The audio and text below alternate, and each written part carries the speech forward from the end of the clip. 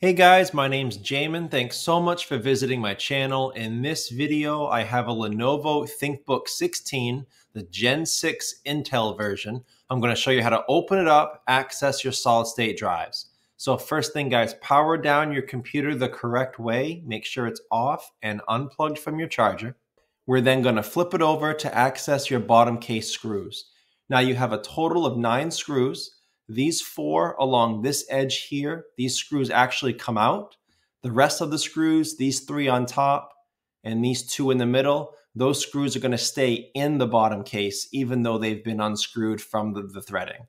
After that, I found it easiest to use my pry tool and start from the back and pry this edge up first and then work my way down the sides towards the front. I recommend a plastic pry tool because metal will tend to scratch this case a bit more. Go all the way around, and if you get stuck in one spot, just leave it, go to the other side, and pry it up from this seam right here.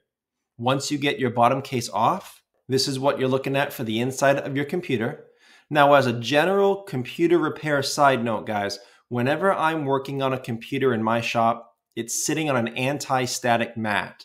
Either that or an anti-static bracelet are great ideas to avoid damaging the computer you're working on. If you need any help with any tools or supplies for your computer project, as well as any replacement or upgrade parts for this specific model, ThinkBook 16, there'll be a link above. Also below in the description, it'll take you to a list of all those replacement upgrade parts, as well as the tools and supplies you may need to work on this computer. Now, before touching anything in a computer, you want to at least unplug your battery first. It makes the computer safer to work on when as little power as possible is running through it. So here's your battery right there.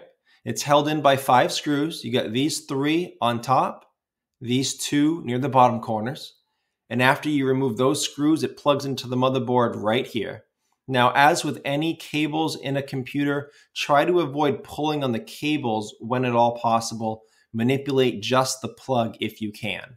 So this one didn't have very large grips. You can try to use a pair of pliers to grab it, but you may have to grip those wires very, very securely. Try to get as much of your finger on, on the black plug as you can and gently, slowly wiggle that out to get that out. Now that the battery has been removed or at least unplugged, it's safe to proceed deeper into the computer.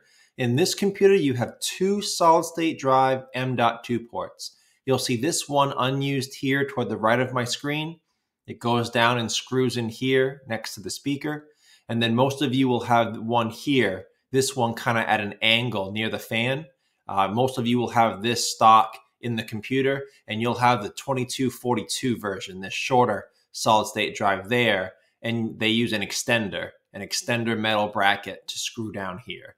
So to remove these, again, you would just remove that single screw. This would come out of the port, same thing here.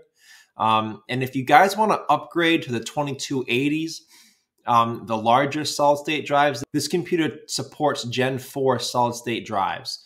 So most of you will have a 256 gigabyte uh, 2242 drive in here, like you see in this picture. So below in the description in that link I told you about with all the replacement and upgrade parts, I'll try to include a 256 gigabyte 2242 drive in case you guys just want to replace yours. But if you do want to upgrade, I'll also include several options for the larger 2280s. I'll include a 500 gigabyte, um, a, a terabyte option for those of you that want to upgrade. I guess the last thing to shout out about this operation is if you are installing a new solid state drive, you're probably going to have to install a new version of an operating system on it in order to use your computer. Uh, there'll be two video links below in the description. One, I'll show you how to install Windows 10 for free. And the other one, I'll show you how to install Windows 11 for free. So whichever one you want, I'll have both links below in the description. But that's the video. This is how you access your solid state drives in this model computer. So that's the video, guys. I hope it was helpful. If you have any questions, check out the FAQs below in the description. It could save you some time getting an answer. If you do need to leave me a question or comment, please do. I do try to get to those a couple times a day at least. To support the channel, please remember to like and share, subscribe if you enjoy this type of DIY tutorials, And for those of you that want to support the channel a little further, you can always leave a small donation, and there's a couple ways to do that. First, right below the video to the right hand side, you'll see the Super Thanks button. You can click on that. You can select a tip amount here.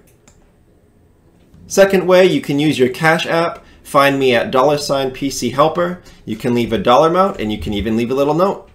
So thank you so much for watching, guys, and I look forward to seeing you on my next video.